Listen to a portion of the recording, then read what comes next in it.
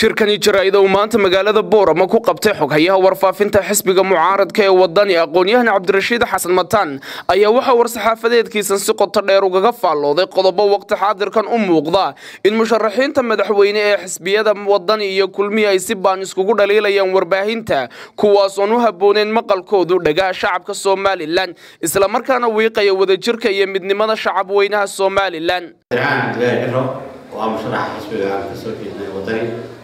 shalay fariin baa ka soo baxday. Fariintaasi waxay ahayd fariin uu cadho ku yidhi mas'uulla cadho waa looga roon inuu ku jawaabo inaad adiga iyo musharax cabdiraxmaan labadiinuba ay isu timaadaan shacabkana wadajir u hadashaan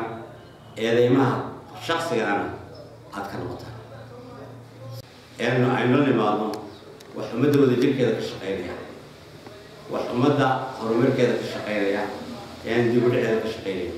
hoga tusaaleyn iyo fariimo wadajir ayaa waxa u diray labada musharax ee tartanka doorashadu dhex mari doono. Muuse biixi cabdi iyo cabdiraxmaan curo waxaana ugu baaqay muuse biixi inuu yaqiinsado inuu cabdiraxmaan maxamed cabdilaahi cabdiraxmaan curo uu yahay musharaxa keliya ee la tartamaya doorashada soo socota.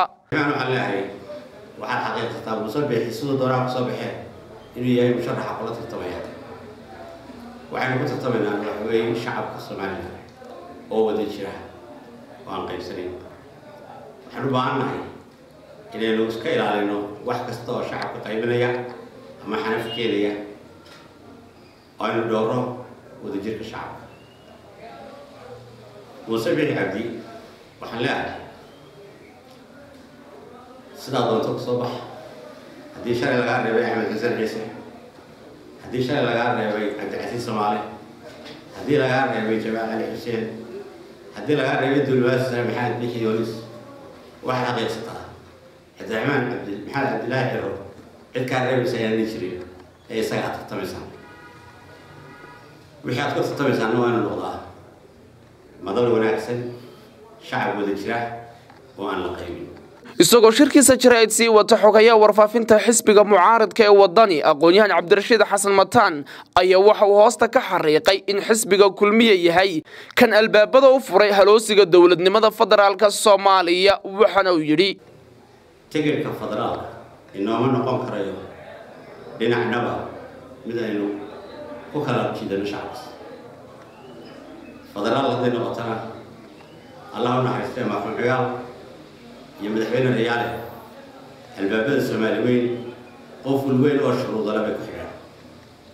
qofulkaa cidda jebisay ee albaabada ballaaday waa xisbiga kulmiye iyo xukuumadda kulmiye hadday shalay ahayd qariib ama wax lala yaabo xamar ku hebel tegay madaxtooyadeenna iyo madaxtooyadaa wada shaqeeya qandaraasadaa la wada saxeexaa safiiraa la wada leeyahay aqal kasta oo somalilan doorashada muqdisho ka socota sheekadiisa ayaa taala. Marka tigir federaal ciddii naga iibsanaysa maanta. Ama lagaga cabsin karaa ma jireen? Ugu dambayntii waxa uu fariin u diray dhallinyarada somalilan waxaana uu xusay. Xalay social mediaha waxaa aada iyo aada ugu badnaa. Khilaaf iyo ficil iyo iska horimaad danta somaliland kuma jirto inaad qaybsano. Danta somaliland kuma jirto inaad social media isku maaqtaan iyo inaad ka sheekaysaan dagaal dantu waxay ku jirtaa inaan u sheegno hogaamiyayaasha ina hogaaminaya inay wadajirka ka shaqeeyaan iyo tanaasulka iyo inaan shacabka la qaybin. Waa mahadsantihiin cabdilcasiis ibraahim cabdilaahi telefishinka universal magaalada boorama